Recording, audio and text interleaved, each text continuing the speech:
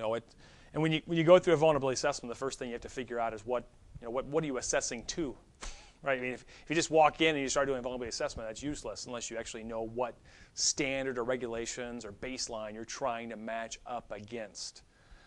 Um, you know, so that said, is it going to be NERC CIP? Is it going to be DHS or uh, yeah, DHS CFATS? So when we look at uh, you know, doing a vulnerability assessment versus a pen test, a vulnerability assessment is just that. You're trying to find vulnerabilities, but you aren't going to actually try to realize them. You're not going to actually try to see if the vulnerability uh, can be uh, um, exploited. That's penetration testing. So you know, when we went further in the demonstration, talking about the Metasploit modules, that was penetration testing. You perceived there was a vulnerability because it's not doing authentication. You looked at how the application worked. Maybe you can move it from run mode to stop mode or writing ladder logic to it, and you validated it with a penetration test of developing the modules. Um, so you really have to go through that process of finding out, well, am I doing a vulnerability assessment or a pen test? Vulnerability assessments should be done on a minute-by-minute basis in environments. Uh, not, hey, I'm doing a vulnerability assessment this year or next year or the following year. You're doing a vulnerability assessment every minute as long as you're getting updates from the ICS CERT, Industrial Control System CERT, as long as you're reading information about uh, vulnerabilities from certain vendors or anything that you know about your environment. Vulnerability assessments are done uh, all the time. And they're not, it is a constant process. It's not something that should be performed on an annual basis. Um, so, you know, realizing how to do that is very important. But of course, it's useless unless you know what cyber assets you have and how they're programmed. So, you know, this is one of my lessons learned. I gave this presentation at the uh, ICS CERT, uh, Industrial Control System Joint Working Group, excuse me, not ICS CERT, uh, the Industrial Control System Joint Working Group meeting back in uh, April of 2010 you know, and, and what I wanted to represent was how many times I've asked the questions of finding all the personnel, all the cyber assets, all the documentation, and then I'll ask, is all this documentation that you have, is it current? People that operate the cyber assets, the vendors that you have contracts with, the cyber assets themselves, how they're connected, how they're configured, is it current? And every time the response was no.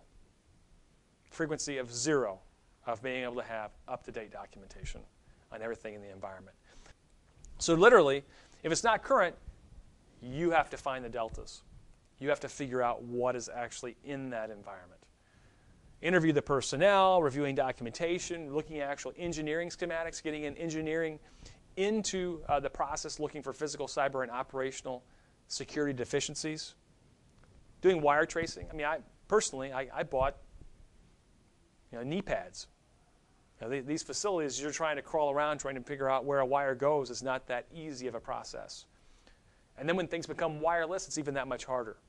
And then you'll find wires that essentially will use even old telco uh, communication cables. So next thing you know, you're at a patch panel, and then you're trying to figure out where the other side of the wire goes. So you're trying to look at 20-year-old schematics that no longer have been updated. So it's, it's not an easy process. So, you know, we go through interviewing the personnel, the vendors, the operators, understanding what their cyber physical or uh, uh, security awareness is. I mean, it can be as simple as asking them, you know, what cyber assets or tools do you have manual procedures for? What if that PLC goes away? What if that operator workstation goes away? How can you still manage your environment manually? Can you? What if something happens? How do you operate in a degraded state? So that's, that's a major question to ask uh, immediately. Cyber goes away, what can you still do? What data flows can you still calculate manually? Do you even have the logic and programming capabilities to do it? Or are you, are you failed? Are you no longer a sustainable or viable business at some point? You know, when you look at documentation, you're going to find shared infrastructure. Right? I picked down municipalities, but you know, when I see a municipality that has their freshwater, wastewater, and their uh, a little bit of generation and then distribution of electricity, maybe even some transmission, all using the same control system, server and software and operational environment, and that network is flat, meaning that the security or the access afforded to me out at some field location is the same as I have within a control room, that has physical security, but the field, the field location doesn't have physical security, that's a problem because then all of a sudden I can jump onto the network and if I can ping it, I can own it. Right? It's that same model. So that's a risk. Uh, make sure again the accuracy of the documentation. Even though you have the, the documentation, it doesn't mean that it's accurate. So you want to find ways to ensure the information is viable or correct at that point in time. So an example would be let's focusing on a cyber perspective. If you have a list of firewall rules, go get a firewall and find out if the rules match. If you find one firewall rule that's off in the, in the sampling that you picked, then you have to assume they're all wrong. Go and look for a network switch. And if the documentation says there's only 20 connections and you go to a network switch and there's 21 connections, you have to assume all the connections are wrong. It's very simple sampling that you can do to figure out whether the environment uh, truly has accurate documentation. Reviewing the engineering schematics. Again, I'm not going to go through this in, exorbitant detail because we covered this before. Um, but it even goes down the process. I mean, here's an example. We're at an electric utility that um, the, uh, these generating units have black start capabilities, meaning if the bulk electric system starts to collapse upon itself, failing, you have to have electricity to make electricity. So these are units that have enough fuel to just crank them up so that you can then use them to start the rest of uh, components of the power grid around that area. And because of um, environmental concerns, they had something called a high pressure water injection system put into it, which essentially would emit uh, water onto the flame, which reduces emissions. Just an interesting engineering model that was there. So my question was, could I compromise that high pressure water injection system to then control it to then douse the flame? So all of a sudden, all of these generating units wouldn't would no longer work. Or could I operate the pumps in such a way that they would exceed the engineering specification of the pipes that they were being pushed into? So those are types of engineering questions you could ask to see how it was built. What if it gets operated beyond uh, some of the thresholds? Did you program the thresholds into the ladder logic or into some system? If that's how you limited how the environment operates, well, then that could therefore then be manipulated and then all of a sudden now create a physical uh, condition in the environment. And then do a wire tracing. It's amazing where wires go, but where wires don't go, wireless can go.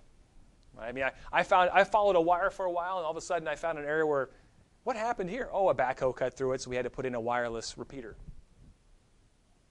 So then all of a sudden now you're like, well, where did this wireless come from? Well, it's 900 megahertz, 900 megahertz wireless, and the vendor says it's secure. It is as secure as you buying another wireless repeater from the same vendor, which then picks up the wireless transmission from the other repeaters and then decodes it for you, and now you're in. All you have to do is buy the same hardware.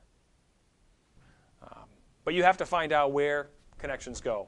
Because on the other side is another cyber asset that may be controlling it or may be receiving some kind of commands or control from it. And then how it's configured. How is it actually configured? What's the program logic that's in the device itself? And this ultimately is the hardest one to crack because commonly the control system environments are configured by a third party vendor.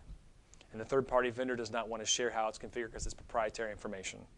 It might even be OEM'd directly, where you're not going to be able to change or influence how it's actually configured or designed in the environment, unless, unless you include this within your initial procurement language. You know, and that's where looking at some of the DHS SCADA procurement language um, documentation can be valuable. Um, analyze the network traffic, figure out who it's talking to.